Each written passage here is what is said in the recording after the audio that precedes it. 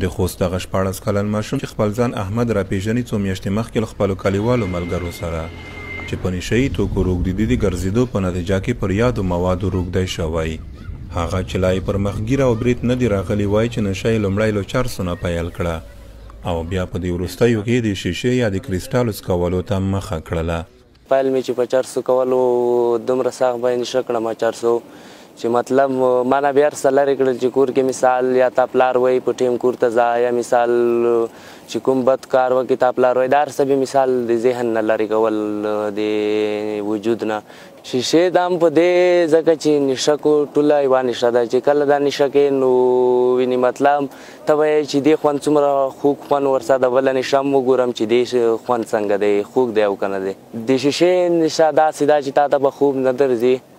چې مثال ویره او ترس به تا کې نه وي کې مړۍ به نه شې خوړای. هغه وایي چې لومړی یې چرس د خوند لپاره وڅکول خو وروسته یې د اړتیا له امله نشه کوله. احمد زیاتوي چې د نشې له کبله ښوونځی هم ترې پاتې شو. او د کورنۍ غړي په ځانګړې توګه مور او پلار یې هم پرې خبر شول. چې یو ځای کې به چا ووي چې مثال اوس یې پټ څکه وه ځکه به مثال مونږ خو مار وو چې پټ مو ته وشه چې څکول مونږ دا ځای کې صبر به نه شو چې اوس یې پټ وڅکوو ځکه وینې افشا سو. احمد له کورنیو په ځانګړې توګه له میندو او پلرونو څخه دا غوښتنه لري چې خپل ماشومان له معتادو کسانو سره ګرځیدو ته پرې نږدي، ښوونځیو ته یې واستوي او دغه راز ښوونځیو ته یې د تګ، راتک په وخت کې وڅاري. نشې ته باید محتاج نه کړي مثال دومره دی په کور کې تنګ نه کړي چې مثال د کور نه هم زړه تنګ شي پلار نه هم زړه تنګ شي باید د یو بل هغه ته مخ ور واړوي یا نشه وکړي یا بل څه وکړي دومره یې باید انسان په کور کې هم تنګ نه شي او پلار یې هم تنګ نه کړي مور یې هم تنګه نه کړي او باز داسې وروڼه یې هم تنګ نه کړي.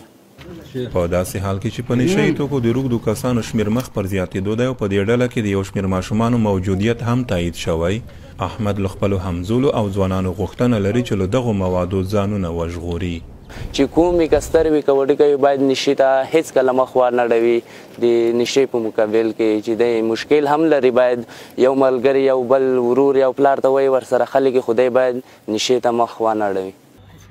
په نشه يي توکو روږدي کسان وايي چې دغو موادو ته د اسانه لاسرسي له کبله د اعتياد کچه نه يوازې په ځوانانو کې بلکې د ماشومانو ترمنځ هم مخ پر ډېرېدو ده. ابراهيم رحيمي، امريکا غږ، اشنا تلويزيون.